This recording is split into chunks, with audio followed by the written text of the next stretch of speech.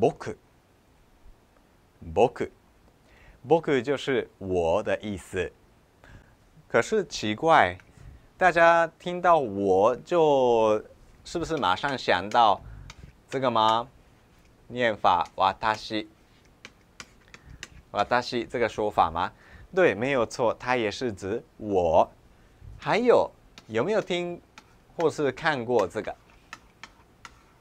嗨，这个是念我的，我的，就是指我我这个单字有僕、私还有我的，有很多种不同的说法。那到底差别在哪里？哈，最管用的是这个瓦达西，瓦达西的用处就是大人或者是女孩子、女生就很适合用的，可以吗？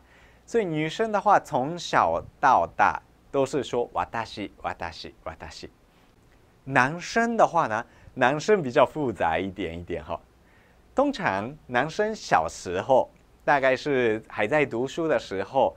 就用 book 的机会比较多，book book 我，但是这个场合是大概是只限于男生讲的，而且年纪比较年轻一点，可以吗？那我的呢？我的是怎么样？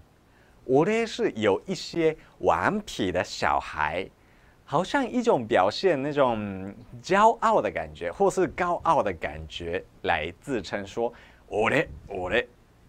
所以，像很多日本的卡通里面，有一些男主角，他有霸气哈，对，那那些男主角说“我嘞，我嘞 ”，OK。但是，如果你实际上你已经长大了，还在别人面前说“我嘞，我嘞”，嗯，感觉哇，非常的高傲的感觉哦，请小心。如果男生也是长大之后，就是用瓦达西，特别是在正式的情况哈，瓦达西的积蓄几率比较多，因为这个是比较正式一点的说法。当然，就算你长大以后呢，也是如果在队内，就是在家里，或者是跟很熟悉的朋友之间说 “book book” 也是没有问题的哈。嘿，那我们看看例句。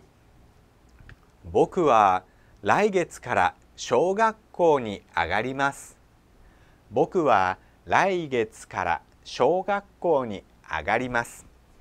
僕は来月来月から小学校小学校に上がります。好，就这样子哈。看一下例句的意思。我当主题。来月から从下个月，小学校に上がります。上がります就是上学、上学或是升学的意思。那升学到哪里呢？就是国小，用に这个助词来连接。小学校に上がります。哇，意思是他一定是六岁左右吧，所以很适合说僕僕这个说法。